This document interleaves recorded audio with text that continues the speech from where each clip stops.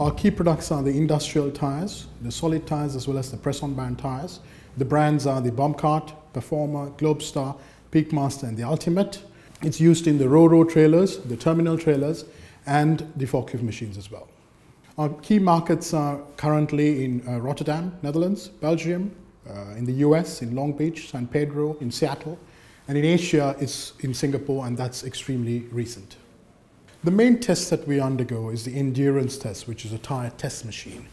But as we're an ISO 9001-2008 company, our raw material is tested for rheological properties and the compound once it's produced is also tested. And once the tires are built, it goes through an ultrasonic test to see the air bubbles inside the tires. And also we do a hardness testing to see the curing properties of the tire. And finally, the endurance test is done, which is a destructive test to ensure that the tire heat buildup is checked, as well as the lifetime of the tire. The 2008 downturn, I think, is a critical moment for us to understand about capacity management. Industrial tire manufacturers such as ourselves operate capacity based on supply and demand. And based on what we've learned through uh, the 2008 recession and coming out of it, I think capacity management is the key tool that we need to understand. Besides that is the over-reliance on the key markets in the world. So the constant focus on markets such as Europe and USA.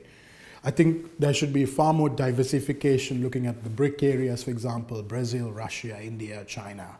And I think those are important. And I think that's one of the key lessons we've learned. We're always affected by cheaper products emanating from the Far East especially. But Sri Lanka is the largest producer of industrial tires in the world and Sri Lanka has 60% of the global market of the industrial tire business. So when you talk about port applications, it, you need to send your tires through rigorous testing and you need the high performance products. So even if the price is cheaper, if it does not perform in the application, then nobody can have access to that market. So due to that, we feel that our products coming from the GRI factory is far superior than any other product that comes out. Our key growth areas right now are basically the Middle East, Russia, Asia, South America, and South Africa. And that tends to be because we've been over resilient over the larger economies such as the United States and Europe.